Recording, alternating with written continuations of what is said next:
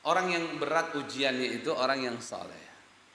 Bedain antara ujian sama azab. Bedain antara ujian sama hukuman.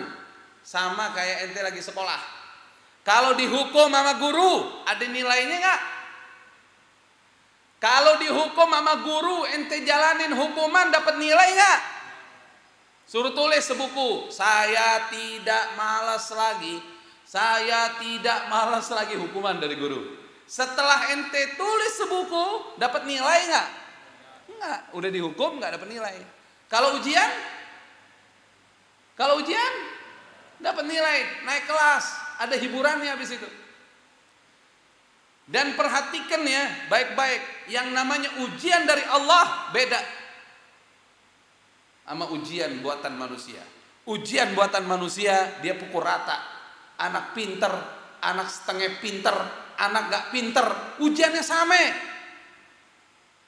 Ujiannya bukan sama, sama. Tuh sekelas tuh, padahal IQ-nya lain-lain. Pinternya lain-lain, ujiannya sama. Tapi Allah Subhanahu wa taala Maha baik, menguji hambanya sesuai kadar kemampuan hambanya. Dan perlu catatan satu lagi, anda jangan panik kalau dapat ujian dari Allah. Kenapa? Karena ada ayat-ayat lain yang Allah Subhanahu wa taala itu berfirman, "Wa may yattaqillah yaj'al lahu makhraja wa yarzuqhu min haitsu la yahtasib." Ada jaminan dari Allah kalau kamu takwa menghadapi ujianmu, Allah yang keluarkan ujianmu itu. Allah yang keluarkan kesulitanmu, bukan kamu.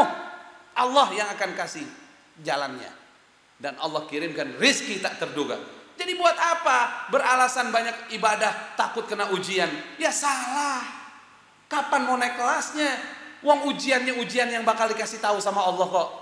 Kalau emang ente bener orang soleh. Ya salah ente. Ya salah ente. Kayak Nabi Ayub. Diuji dengan ujian yang berat. 18 tahun. Ini orang baik. Orang tukang sedekah. Habis semuanya. Ujian yang berat. Doa sama Allah subhanahu wa ta'ala.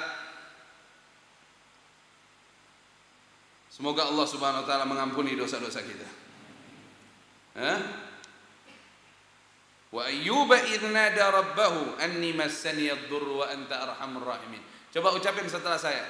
Anni massani ad-durr wa anta arhamur rahimin.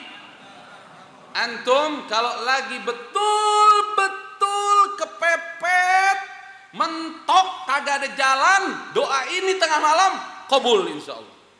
Itu ada di surat Al-Anbiya ayat 83. Allahumma anni massani ad-durr wa anta arhamur rahimin. Udah kelar. nggak ada apa-apa ente. Tapi kalau bisa diulang-ulang, diulang-ulang, diulang-ulang, yang ente mengaku sudah nggak ada jalan lagi sudah. Anni massani ad-durr wa anta arhamur rahim. Pakai ini doa. Kita belajar Nabi Ayub dapat amalan. Wa yajibul muttarra idza idza da'a. Allah mau Allah menyatakan pasti mengabulkan orang yang doanya mutar. Bukan yang mudah-mudahan. Nanti kan doa mudah-mudahan ya. Eh mudah-mudahan ya. Ada jalan keluarnya. Ya. Yuk. Mutar. Mutar tuh mentok ke mana lagi nih Allah?